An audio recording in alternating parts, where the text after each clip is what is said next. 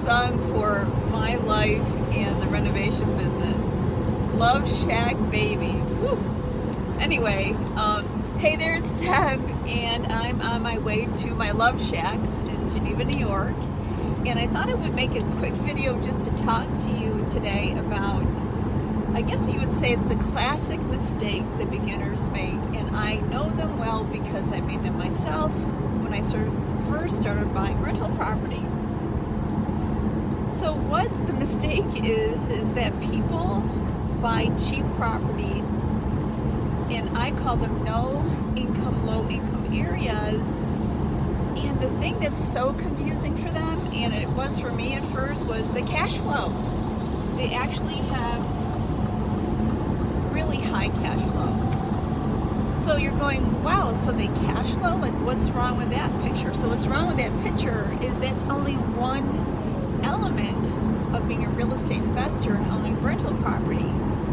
So just because they cash flow, it doesn't mean that they are appreciating or that they're going to hold their value or that they're going to be easy to manage and maintain.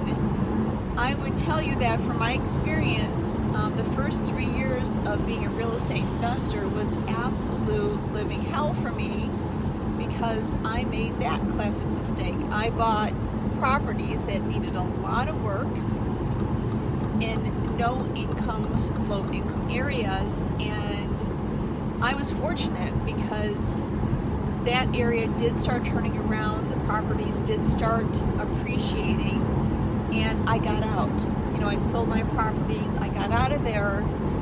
And I can tell you what happens typically to people who I would really love to see um, in the business is they don't come back in because the maintenance calls and the drama associated and all the issues for collecting rents and the high eviction cost were just way too much for them to even reconsider.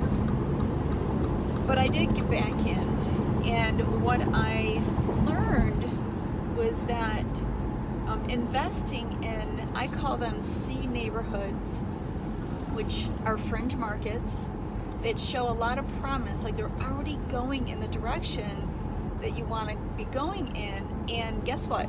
I still found inexpensive properties, but the difference was they had the other two components.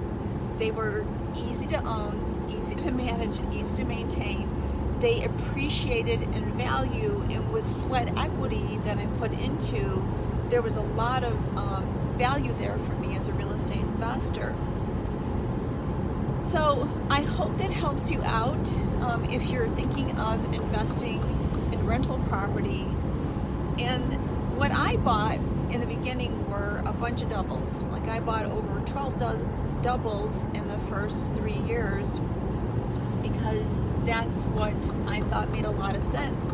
And it sure did make a lot of sense on paper now that I'm back in the game in a very different way, this is, you know, 20 years down the road, what I'm really, really enjoying is owning single family properties. And what I'm seeing is that these tenants take care of the properties um, like it's their own home, especially if you give them a home that's in beautiful shape.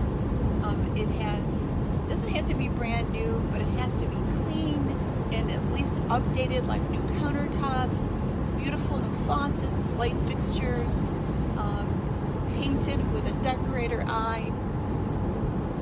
Love to hear your comments. Uh, if you needed any um, answers, I'd love to answer you here on this posting. So have a great day and love Shack, baby. and bye for now.